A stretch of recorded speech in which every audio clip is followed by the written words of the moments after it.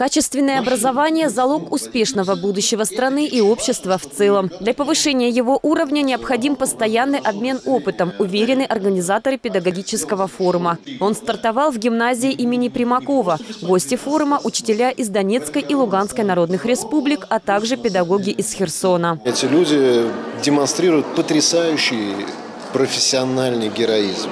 Несмотря на сложность понятных э, нам всем условий, они остаются верны своей профессии и приехали сюда для того, чтобы мы вместе настроили новое профессиональное сотрудничество. У каждого из них свой опыт, традиции и методики. За последние восемь лет, несмотря на сложные условия, в этих регионах сделано очень много, чтобы качество образования было абсолютно конкурентоспособным. Немалая часть уделяется и патриотическому воспитанию. Ведем большую работу по патриотическому воспитанию. У нас так же, как и здесь, проходят и общешкольные мероприятия, городские мероприятия, которые направлены именно на формирование чувство гордости за свою родину, чувство ответственности за свои поступки.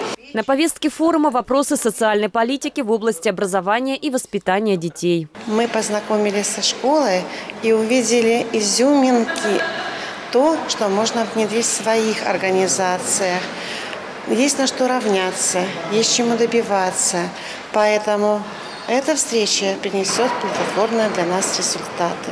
Главная цель – подписание соглашений о дальнейшем сотрудничестве для обмена опытом и практиками между школами достигнута. Сейчас я буду заключать договор с коллегой из Долгопрудного. У меня гуманитарная гимназия, в Долгопрудном гуманитарная гимназия.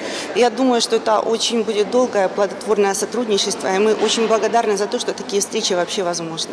Кроме того, для гостей была подготовлена насыщенная экскурсионная программа по главным достопримечательностям Подмосковья. Они посетят парк «Патриот» и историко-художественный музей «Новый Иерусалим». Полина Бахова, телекомпания «Одинцова».